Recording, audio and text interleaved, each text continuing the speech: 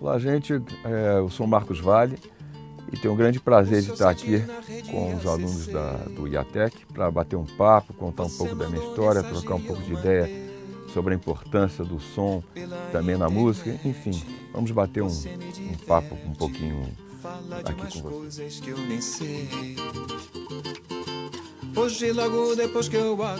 Quando a gente vai fazer um show, é, logicamente a, a, minha preocupação do artista é nos ensaios, é a parte musical, são os arranjos, né? enfim, tudo uma coisa com como é que vai funcionar aquele repertório, isso tudo, o time, quanto uma hora e meia, o que se é música mais é, umas mais lentas, outras mais para cima, enfim, nossa preocupação é essa. Mas eu sei muito bem, nós todos sabemos que isso não basta, né? Porque uma coisa é você fazer uma coisa acústica, né? Num local onde tenha pouca gente, aí o som é totalmente acústico, você já chega, né? Quando você vai fazer um show no teatro, seja para 200 ou 500 ou 1000 pessoas, a coisa já toma uma importância muito grande do que, que vai funcionar em volta disso. Quer dizer, a, a, essa equipe realmente que, a qual você com quem você vai trabalhar, passa a ter uma importância vital, porque o, você pode, num show muito bem ensaiado, muito bem planejado, ele pode ser destruído rapidamente, né? porque se o som estiver errado, é, aí a coisa realmente não vai chegar da maneira que, que é. E existem duas facetas que tem. Eu estou falando de, de, de som, eu estou falando de luz, estou falando de toda uma parte de produção que trabalha junto com, com, com a gente. E não só o som que chega para o público, mas o som que chega para a gente no palco. Isso também é, é muitas vezes é, é, as pessoas não entendem muito bem o público. Não, mas o, o som aqui estava perfeito para a gente. Pois é, mas você também para é, tocar, para você ter uma, uma, atuação no palco bo muito boa, o som tem que estar tá bom para você no palco também, porque você tem que ouvir o que o outro está tocando, enfim, você tem que ter uma, uma comunicação muito grande no palco para poder que esse som chegue na plateia. Então as duas coisas são importantes. Também não adianta você ter só um som bom na, na no, no, no, palco se você não tiver o som na plateia. Quer dizer, essa, essa coisa que é, é, é vital no, no, em, em, qualquer show que você faz. Quer dizer, você depende muito do bom técnico, do, da boa luz, né? de toda uma produção de cenário. Enfim, isso, essa montagem toda de uma boa equipe é que faz um sucesso de, de um show.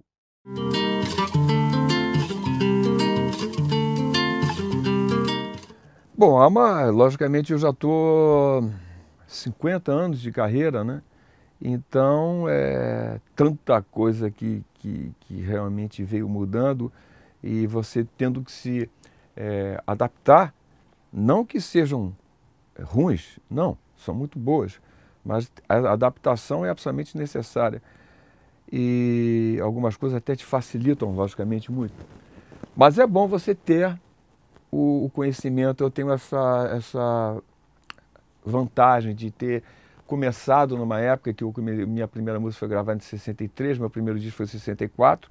Ali eu já estava fazendo show, eh, show no Beco das Garrafas, um show da, do João Sebastião Bar em São Paulo. E, e, e, os próprios discos, né? quer dizer, que, que, na época, me lembro que quando eu gravei meu, meu, meu primeiro disco, que, é, que chamava Samba Demais, a, a, só tinha dois, eu gravei em dois canais, né? Então a coisa era complicada, e com orquestra, né? porque naquele tempo os estúdios todos, eles tinham essa vantagem de ter os, os, os, os as orquestras contratadas pelo estúdio. Quer dizer, então era muito fácil você gravar com orquestra. Hoje em dia é uma coisa complicada, é muito cara, né? Mas naquela época você já tinha essa facilidade. Aquela orquestra gravava, naquela época eu gravava no, no Odeon, que é a IAMAI, e depois o pessoal, aqueles mesmos músicos que eram do, do, Teatro Municipal, depois eles iam gravar na Philips, depois iam gravar na Musidisc. Então você tinha uma facilidade de gravar com esses músicos. Mas ao mesmo tempo, era você só tinha dois canais, quer dizer, então você tinha que gravar base é, junto com a orquestra, né? É, todo mundo junto, para deixar outro canal para voz. E muitas vezes eu me lembro que num disco teve que a gente gravou que havia um, um grupo de jazz chamado Paul Winter, é, que como o Paul Winter veio, era um sexteto, gravou, era o arranjo do, do Amir Deodato, estava fazendo as, orquestrações para mim. Como a, eles gravaram a, a parte deles do sexteto e depois veio a orquestração, eu tive que botar a voz junto com a orquestra. O que era era um pânico, né? Porque aqueles músicos, eu era, eu era novo, né? Estava começando e aqueles senhores tocando aqueles violinos, me olhando, e meu Deus do céu, que, que responsabilidade. Mas enfim, isso tudo acaba dando uma, uma, uma, uma experiência muito grande, né? E, e, mesmo a sonoridade que se conseguia naqueles estúdios ali da Yamaha, mesmo com esses 12 canais, depois em quatro canais, era uma coisa impressionante o, o que seguia. A gente tinha que tocar mesmo, quer dizer, não tinha correção. Se você errasse, tinha que voltar para fazer tudo outra vez. Então isso permitia, é, quer dizer, permitia não, te obrigava a ter um cuidado muito grande. Hoje, ouvindo aqueles discos, quando, quando por exemplo, minha caixa dos anos 60 e 70 saíram, ouvindo aquelas sonoridades, é muito interessante você ver que, que às vezes até pequenas falhas que você imaginava que eram falhas, mas que elas tinham uma razão de ser, elas passam a ter um charme, aquelas coisas, uma pequena erro de flauta junto com trombone, mas aquilo não tem tanta é, importância assim, porque o, o, todo é que era vital. Agora, hoje em dia, logicamente, isso permite né, é, o, você ter umas facilidades muito grandes de você poder é, refazer. Por exemplo, você fez um grande improviso, né? É, por exemplo, quando eu vou gravar um disco atual, o último, por exemplo, o Estática, aí você grava, fez um improviso fantástico, aí você quer fazer outro. Sempre, aliás, você sempre quer fazer outro, quase, quase é, sempre o primeiro é melhor, mas você quer, acha que errou, não sei o quê. Aí você faz o outro porque você acha que esbarrou uma nota ali e às vezes o primeiro era melhor. Provavelmente no disco antigo você teria que deixar o segundo, porque havia um erro. Hoje você tem a facilidade de voltar para aquele primeiro e corrigir aqueles pequenos erros e a alma do teu improviso está ali. Então existe essa coisa, você ter a, a, a, noção que você pode corrigir, que você pode fazer pequenos acertos. Isso é muito bom, porque mantém é, ideias iniciais e que de repente você iria derrubar e nesse caso você não precisa mais derrubar. Com os acertos todos disso em shows, em discos, eu acho que hoje, é, a, apesar de você se acostumar a, a, sabe que vai ter essas ajudas, mas se você lembrar bem que é, é necessário que você toque muito bem tocado para depois é, ter essas, essas ajudas, eu acho que aí você realmente encontra o equilíbrio perfeito.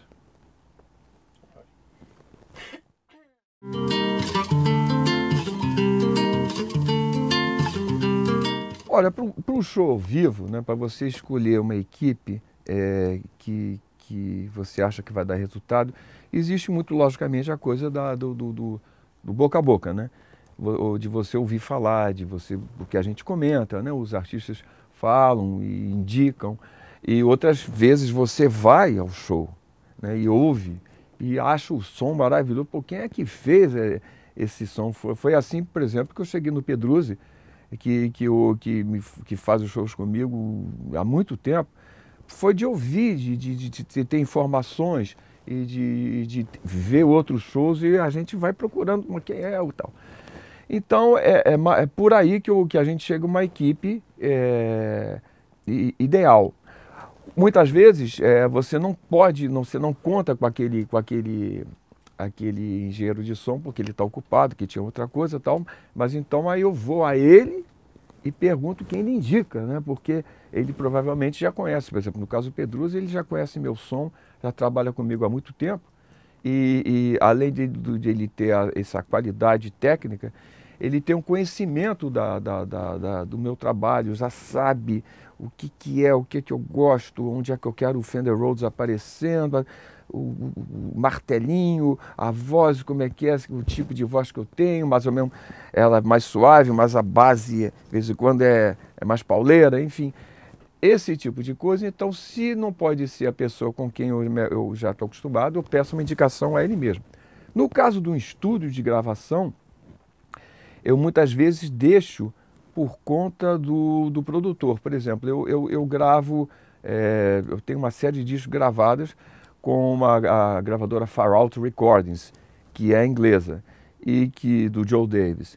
E eles têm uns técnicos de, de, de som que muitas vezes eles estão buscando um perfeito equilíbrio entre o, o novo, mas também a coisa valvulada, é, esse equilíbrio e o próprio estúdio, do, de uma sonoridade de estúdio.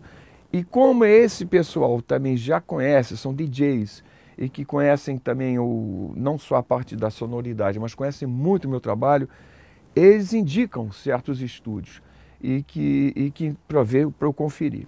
Quase sempre que esses estúdios foram indicados, eu gostei muito, porque eu acho que realmente ali a coisa rendeu muito e na, quando vai ser feita a mixagem, é, já se parte, já se, sabe, já se sabe que aquele estúdio vai permitir um tipo de mixagem que eles estão esperando.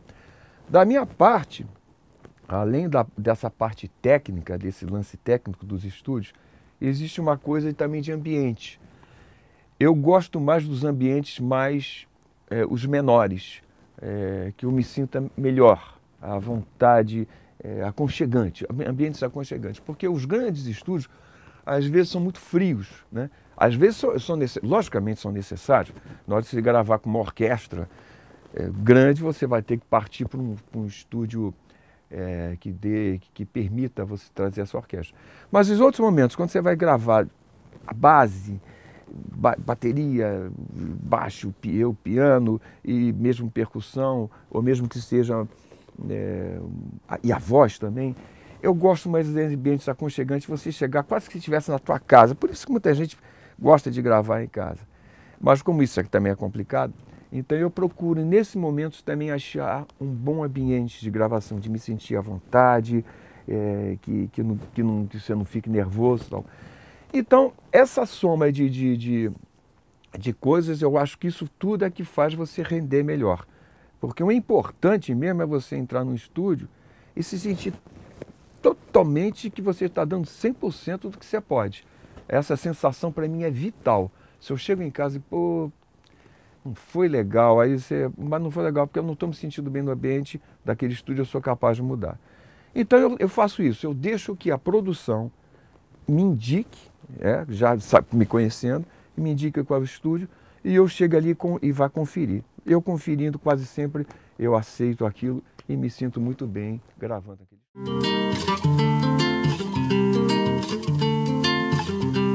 Como eu viajo muito, faço muito show lá fora, é, e, e, faço vários shows aqui, posso ter essa comparação. Quer dizer, em termos de shows, é, sinceramente, em, em, existe um público, dizer, existe uma grande diferença no meu caso, ou, pelo menos na maioria das vezes, porque o público, os lugares onde eu toco lá fora são muitos nos festivais de jazz, que aí são mais calmos, mas também tem os festivais de jazz jovens, que já incluem DJs também, então todo mundo em pé, todo mundo participando, e essa energia é, é, é um pouco diferente de você tocar para um, um pessoal sentado tal. E aí a sonoridade também é diferente, porque no meu caso, como, como eu tinha até falado um pouco antes, o, o, som que eu faço, ele, ele às vezes é o calmo, mas na maioria das vezes o, o, a sonoridade é muito alta da banda. E eu gosto assim, que eu uso metais, eu gosto de fazer os arranjos com metais. E, só que a minha voz não é muito forte, a minha voz é, é, é mais fraca mas ela tem que aparecer no meio da história. Então, essa, essa, esse balanço, é por isso que eu gosto de levar, se possível, apesar de tocar lá fora, eu, e lá ter vários técnicos, é, logicamente, grandes técnicos de som que tem lá fora, fora do Brasil, mas apesar disso, eu quando posso, eu prefiro levar o meu técnico daqui, porque ele já exatamente conhece o, o, o, som, né? Ele já sabe, facilita essa coisa de chegar lá, às vezes você não tem muito tempo, às vezes em, em, em turnês que eu faço, vezes atraso de avião, não sei o que, você chega na hora, a passagem de som não dá tempo de você passar muita coisa, então você com técnico de som, uh, isso facilita. Às vezes, você não, não, não, não tem muito grandes problemas, por exemplo, festivais de jazz. Eu já cheguei em festivais, que são vários artistas, né? E que em cinco minutos você toca uma ou duas músicas e eles conseguem equilibrar o teu som e na hora ficam perfeitos. Mas outras vezes a coisa é complicada. Agora, as diferenças que eu vejo daqui, por exemplo, os discos que eu gravo, é, mesmo quando são feitos por discos para, para a Europa, é, eu normalmente eu gravo aqui. Eu já fiz coisas de gravações lá para serem lançadas lá. Já gravei discos no, no, no, nos Estados Unidos também. Mas a maioria dos discos que eu faço, eles são gravados nos estúdios brasileiros, em vez de serem gravados lá. Isso por quê? Primeiro porque é mais fácil de você ter aquela banda durante tanto tempo, né? Se você for para gravar no, lá fora, você teria que levar aquela banda toda e manter essa banda toda gravando. E como a gente quer esse som bem brasileiro, que é, que é, que é exatamente os músicos que tocam comigo, que é o Massa, com o Gessé, com o Mazinho, ou então Alberto Continentino, é, o, o, Marcelo Martins, enfim, essa turma que, tá, que toca comigo, a gente quer essa sonoridade dentro do estúdio. Então a gente, a gente prefere gravar no Brasil e depois fazer uma mixagem, muitas vezes feita lá fora. Essa mixagem a gente usa muito a internet, que para a gente estar tá trocando ideias. Agora, é, eu acho que os estúdios lá, os estúdios lá de fora, são, às vezes você encontra estúdios fantásticos, melhores que os estúdios brasileiros. Mas, por outro lado, eu acho que no Brasil a gente tem uma, uma maneira de extrair o som. Por exemplo, no, no último disco, no Estática, o, o, o, técnico de som é, foi o Daniel, que é filho do, do líder do Incognito, que é um grupo chamado Incognito. E ele veio, e veio, é, veio ele e o David, eles vieram para a gente gravar o, o, o, disco aqui no, aqui, no, aqui no Rio, no estúdio lá em Santa Teresa. E eles conseguiram tirar uma sonoridade dentro daquele estúdio incrível, uma, fantástica. Então, eu acho que você tendo o técnico certo é, e, que, e conhecendo, principalmente, tendo o entrosamento todo com a tua música, eu não vejo necessidade de gravar lá fora, sinceramente, eu não vejo. Eu, eu, eu gosto até mais de gravar aqui, porque eu acho que você tem aqui um, um jogo de cintura é, que você acaba encontrando. E aí sim, se você quiser fazer uma mixagem lá fora, posso até achar que seja interessante também. Não seja necessária. Mas eu acho que os estúdios hoje aqui e aí os técnicos estão é, aptos a gravarem as coisas bem feitas. O que eu acho importante é que, o, que um, bom técnico de som, é, além de ele ter essa parte técnica, eu sei que uma das coisas que, que até que eu tomo cuidado com isso, é, além da parte técnica, é de você conhecer o que você vai gravar. É você ter um gosto musical formado. Isso é muito, é muito importante você saber com quem você vai trabalhar, que tipo de música é, é, é, que você quer extrair daqui? É uma música mais, digamos, mais comunicativa? É, é uma música mais quieta? É, ela é mais cult? Ela é menos cult? Esse tipo de coisa de saber com quem você vai trabalhar, que tipo de músicos são, é, que tipo de público você vai, quer atingir também, que isso é muito importante. Você tem que ter um ouvido para saber mais o, que tipo de público que vai ouvir essa música. Senão, senão de repente, você está gravando e, e, extraindo um som que você imagina que é, mas você não pode imaginar que é. Você tem que saber o que, que o artista, principalmente o artista que fez os arranjos, que é o artista principal, o que, que ele quer atingir. Eu já tive, por exemplo, discos de masterização que foram feitas e que eram masterizações é, ótimas, mas que não era o que eu queria. Eu, eu, eu, vi a primeira, eu vi a segunda, eu vi a terceira, e graças a Deus o técnico era totalmente compreensivo. Até eu ati, consegui aquilo. Isso foi um disco chamado Jet Samba, era um disco totalmente instrumental que eu gravei no Brasil. E ele tinha, não tinha muitos instrumentos, os arranjos foram todos meus, e eu sabia exatamente que som de baixo, o que, que eu queria, mas eu, tecnicamente eu, eu não sei dizer. Então, esse cuidado de atingir isso, de chegar esse cuidado dele também, do técnico, junto comigo, é super importante. Então, o técnico, eu acho que além de ter essa parte técnica, é, de conhecimentos técnicos, eu quero dizer, mas ele tem que ter o gosto musical apurado, ele tem que ouvir muito, ele tem que saber para poder, quando chegar numa hora, de você ter o diálogo entre o artista e, e ele, que as coisas se entrosem e atingem, atinjam a, a, o ideal.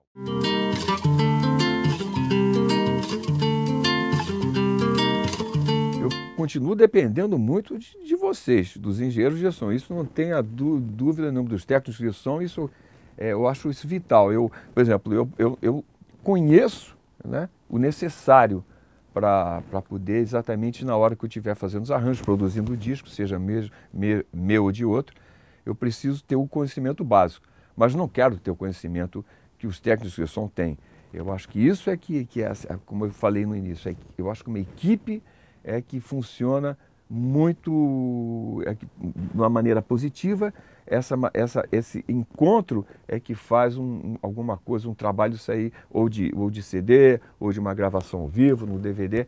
É quando você consegue encontrar um técnico de som um, junto com o arranjador, junto com o produtor, junto com os músicos, tudo tem que funcionar. Então, isso aí eu dependo totalmente de, de, de, de vocês, né? Eu estou dirigindo os técnicos de som então, e, e, de luz, logicamente, quando chega em, em, em espetáculos. Então, eu, que vocês realmente consigam desenvolver. Eu acho que a música brasileira ela é absolutamente rica, ela é, é, é produtiva, incrivelmente produtiva, mas ela é muito, ela é muito diversa. Ela tem um tipo de música, a gente parte desde o norte até o sul do Brasil, que é muito grande. A música é muito diferente, então de vez em quando você tem que extrair, saber com quem você está trabalhando, isso que eu estava falando antes para saber extrair exatamente o que, que o artista gostaria de extrair. Então isso depende não só dos seus conhecimentos, mas do seu bom gosto, do seu, do seu bom gosto e do, do seu interesse e de conhecer aquele tipo de música que você vai trabalhar. Então que vocês consigam, é, continuem junto com a gente, porque eu acho que a música brasileira cada vez tem uma força maior no mundo, e vocês participam juntos com a, com a, com a gente desse, dessa, dessa aceitação da música brasileira. Conto com vocês e vamos botar a música brasileira melhor ainda aí no mundo do que está no momento.